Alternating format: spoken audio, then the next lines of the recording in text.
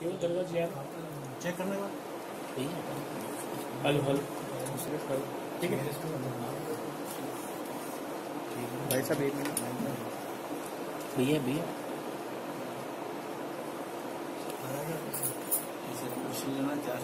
हैं चीज़ भी मुझे मिला तो मैं यही समझता हूँ कि मांगने से कुछ नहीं मिलता है। सिर्फ़ श्रद्धा भक्ति शो करने से भगवान को या बाबा को जो मन में बात आती है, वो अपना दे ही देते हैं। इसीलिए हम आज भी आए तो हमने कुछ नहीं मांगा। सिर्फ़ और सिर्फ़ एक बात की चर्चा हम अपने मन में कर रहे थे, और वो है कि वैसे तो हिंदुस्तान स्तर पर, लेकिन बिहार में हमारे के यहाँ खास करके, ये जो कुमारी लड़कियाँ हैं, नाबालिग लड़कियाँ हैं, उनके साथ दुष्कर्म की घटनाएँ बहुत बढ़ रही हैं। इस माने में दिमाग में एक ऐठन है और बाबा से हमने कहा कि बाबा आप लोगों को सद्बुद्धि दीजिए कि कम से कम हम लोगों की वैसी बेटियाँ जिनका अस्मत लूटे जा रही है या जो इस कर्म के शिकार हो रही है ऐसा न हो। ये हमने ज़रूर मन में बात करके आज बीस तारीख को सर दिल्ली में क्या उद्देश्य है? देखिए विशुद्ध रूप में हम दिल्ली आए हुए हैं। अपने स्वास्थ्य कारणों से, और वो तीस को हम आए हैं, और छः तक वहाँ रहने का मेरा कार्यक्रम था। विभिन्न प्रकार से एम्स में गंगाराम हॉस्पिटल में। सारे कार्यों का संपादन के उपरांत पाँच तारीख जो आज है लीजर ऐसा महसूस हो रहा था कि आज कोई काम नहीं है। तो हम प्रायः अजमेर आते हैं बाबा के चरणों में अपने माथा को टेकते हैं। आज नहीं वर्षों से मेरी ये परंपरा रही है। साल में, दो साल में, कई साल में एक, दो बार भी। तो एक दिन का मेरा लीजर था तो हम सोचा कि क्यों नहीं बाबा का दर्शन करा मैं और अच्छी बात मेरे साथ ये बात थी कि मेरे साथ मेरी पत्नी भी हैं। उनकी भी इच्छा हुई कि हम भी बाबा के यहाँ चलेंगे और फिर पुष्कर भी जा करके हम दर्शन करेंगे। तो इसी उद्देश्य से हम यहाँ पर आए हैं और बाबा हज़रत निज़ाम साहब का दर्शन हम कर चुके और करके अभी जस्ट लंच लिया है। और साढ़े तीन क्या क्या दुआएँ मांगी है। सर बाबा से देखिए हम इस बात में विश्वास करते हैं कि जहाँ कहीं भी जो प्रतिष्ठित जगह है आराध्य जगह है वहाँ पर मांगने से कुछ नहीं होता है। से एक श्रद्धा भक्ति दिखलानी पड़ती है हमें इस स्थान से श्रद्धा है और जब कभी भी हम आए हैं, हम कुछ मांगा नहीं। सिर्फ़ और सिर्फ़ अगर मांगते हैं तो यही मांगते हैं कि हमें ये सलाहियत रहे कि आपके चरणों में हम आकर के दर्शन करते रहें। यही हमको आप दीजिए। और हम खुदकिस्मत हैं कि इस माने में पता नहीं, जब कभी रोज़गार होता है तो हम यहाँ चले आते हैं। और हम बाबा का या परमेश्वर का बहुत ज़्यादा शुक्रगुजार हैं। और आपकी पार्टी का कुछ मैनिफेस्टो सवर्णों को आरक्षण को लेकर के?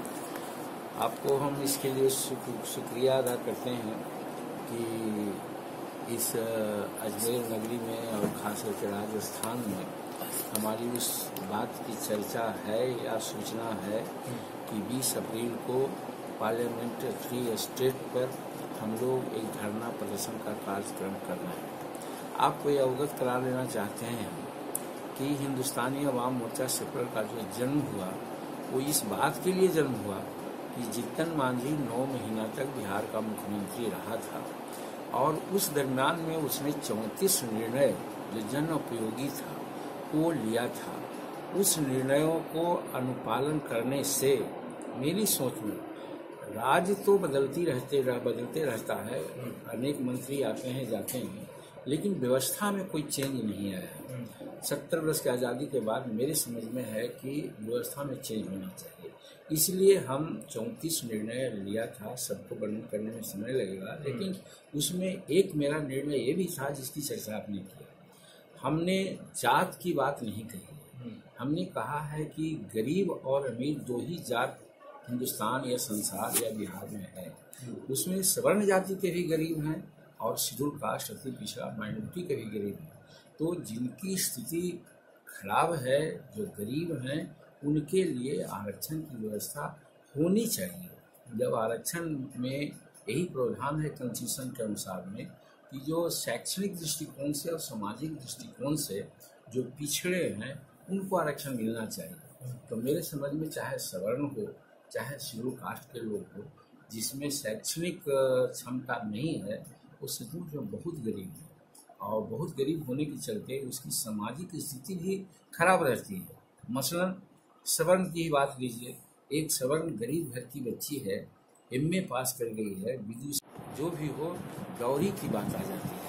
तो ये सामाजिक व्यवस्था तो खराब है। इसलिए हमारे समझ में बात आई है आती रही है कि सवर्ण को भी वैसे में हम आरक्षण की व्यवस्था करके उनका भी सामाजिक और उनकी भी शैक्षणिक स्थिति को बढ़ाना चाहते हैं। ये हमारी हिंदुस्तानी अवाम मोर्चा सदर की नीति रही आरक्षण ही एक ज़रिया है जिससे इस तरह की जो आप नीतियाँ वो दूर हो सकती है जैसे। जी नहीं यहाँ पर हम थोड़ा सा डिफरेंट ओपिनियन रखते हैं।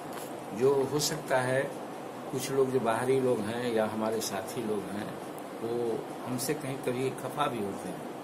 हम आरक्षण की बात तो करते हैं कि आरक्षण होना चाहिए। अंबेडकर साहब ने जब आरक्षण की व्यवस्था की बात 1932 में जब डबल मतदाता सूची बनाने की बात आई थी और महात्मा जी जब उपवास में हो गए थे, लोगों ने कहा सत्रहवा दिन बीत जाने के बाद कि महात्मा जी, अगर दुनिया से चल जाएँगे तो अंबेडकर साहब आपकी बड़ी बदनामी होगी, बिहार, हिंदुस्तान में एक जन जन क्रांति हो जाएगी, इसलिए आप उस पर दस्तखत कर दीजिए। तो उन्होंने 1932 में पुनः पैक्ट पर दस्तखत किया, लेकिन उसके साथ एक प्रोविज़न आया कि शेड्यूल कास्ट के लिए हम कुछ ऐसा काम करें कि उनका विकास हो।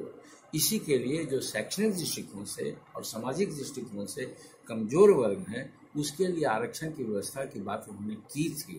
और ये भी उन्होंने बात की थी कि हर दस वर्ष पर इस आरक्षण की समीक्षा होती रहे। अगर कमी है तो उसमें और जोड़ दिया जाए।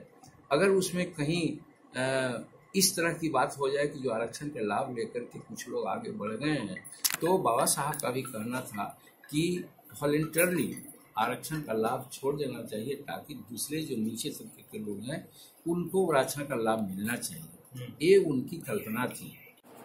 हम कहते हैं कि शेड्यूल कास्ट या अन्य तबके के लोग की जो आज दयनीय स्थिति है उसके और आपस में जो मतभिन्नता है और आरक्षण की आवश्यकता है वो इसलिए है कि हमारी जो शिक्षा प्रणाली है उसमें दोष है। आज सत्तर वर्ष आज़ादी के बाद भी आज हम जो शिक्षा प्रदान कर रहे हैं अपने बच्चों को, वो दो प्रकार की शिक्षा है। एक तो बड़े लोग हैं जो बड़े बड़े कॉन्वेंट में पढ़ाते हैं, बीस लाख, पच्चीस लाख, पंद्रह लाख सालाना खर्च करते हैं। और एक वैसा है जो सरकारी विद्यालय में पढ़ता है, जो चट्टई पर बैठ के पढ़ता है, जिसको किताब नहीं, जिसको खाना नहीं, जिसको पोशाक नहीं। अब आप जोड़िए, दोनों का जो मेंटल लेवल है, एक नहीं हो सकता है। और यही कारण है कि सत्तर वर्ष के बाद भी आज अनएम्प्लॉयमेंट की जो स्थिति है, उसमें गरीब के बच्चे, जिसमें स्वर्ण के भी बच्चे जो गरीब हैं, उनकी स्थिति यही है कि अनएम्प्लॉयड होते जा रहे हैं।